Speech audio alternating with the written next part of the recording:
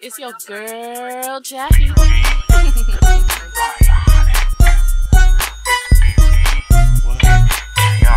Hey everyone, it's your girl Jackie and I have something that's been really highly requested of you guys lately. A lot of you guys have been wanting to know what I put in my hair and how I do my hair.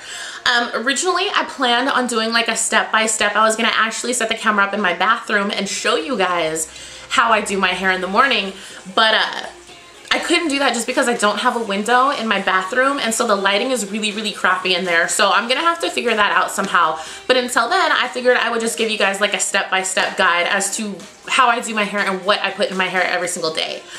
I actually, those of you who have been following me for a while, I had back in the day a series called the Curly Hair Chronicles and I did like different episodes. I did, you know, one week I would cover moisturizing curly hair and the next week I would cover styling curly hair and detangling and all that sort of stuff but uh, I was going through those and I didn't have like a good camera back in those days I was kind of doing it all on a webcam in this dark and dingy bathroom and uh, I don't know, I don't really like them anymore, so I'm probably going to retape those, so stay tuned for those, but in the meantime, let me just take you guys through my morning routine really quick.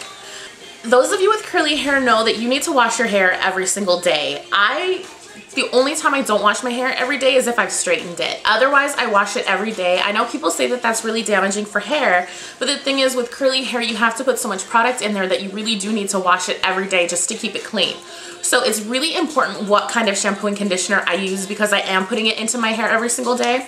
This is the only thing I will use. And my hair is very picky, okay? My hair basically tells me what it likes. But Pantene Pro-V is the best shampoo and conditioner out there. And it's really you know it's affordable. It's really good. And I need something affordable just because of the amount I use because my hair is very long. My hair is down to my butt. So I use a lot of shampoo and conditioner. And you guys can see I have the industrial size conditioner right here just because I go through conditioner so fast. But um the kind I use is the Daily Moisture Renewal.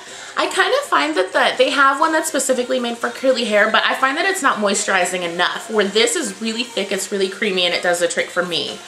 Once I've washed my hair and conditioned it, then um, I step out of the shower and while my hair is still wet, I take a spray and leave-in conditioner and then I use a wide tooth comb like this one. See how this is like coated, how the tips are coated right here with plastic? That will keep it from breaking your hair.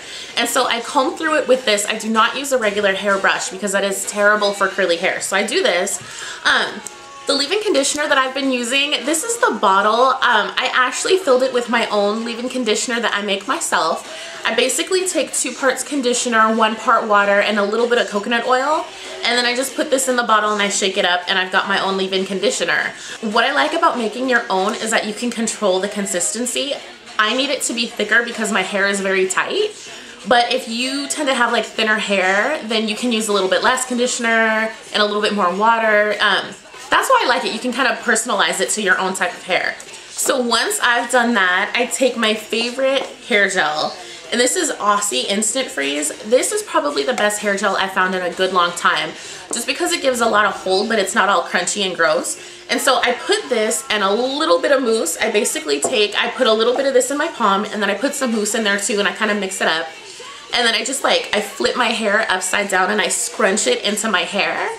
Um, and my hair is soaking wet when I do this. It has to be wet because the thing is, as soon as it dries, it's gonna frizz up. So you gotta catch it before that happens. Once I flip it back over, I separate the curls just because my curls tend to stick together. So I start separating them with my fingers and it has to happen while my hair is wet. Just because like once your hair is dry, you cannot touch it or it's gonna frizz up. So I do that, I separate the curls and then I take a hair dryer and I kind of dry it like holding my hair like this and I dry it like that and then once it's like halfway dry, I'll add a touch, just a little bit of hairspray. Um, I use the Aussie Instant Freeze hairspray as well. Again, I really like this stuff, but I don't use very much. A little bit goes a long way with this stuff. And you know, I don't want the crunchy hair look, so I just spritz a little bit and then I keep blow drying it, doing the same thing, holding it as I blow dry it like this. And then once it's all dry, I take a little bit of um, some kind of shining oil, like a hair serum. I have a couple that I, that I like. I kind of alternate between these three. So I have Pantene Smooth Serum. And then I have Organic Shea Butter Liquid Glass Serum. And then I have Samy Silk Anti-Frizz um, Smoothing Serum. So I kind of alternate between the three, just kind of depending on what kind of scent I want in my hair that day. But I put like maybe like a quarter size amount in my palm and then I just rub it together and then I scrunch it into my hair and then I smooth down my hair like that. Because you know, girls with the curly hair, you get the little frizzies up here and so I smooth it down and then I leave it alone. That's the problem. I think a lot of people that have problems controlling their curly hair, the biggest problem that I've seen is people that touch their hair too much. Once it's dry, hands off, don't touch it because that's when the frizzies start happening. Like I know that I have days where I, you know, I start, oh no, my curls are still kind of stuck together. The more I mess with them, the worse it gets. Seriously, just leave it alone once it's dry. And that's pretty much it. That's all I do every single If you guys have any more questions on what I do to my hair or anything like that, please let me know and I will talk to you guys soon. Thanks a lot.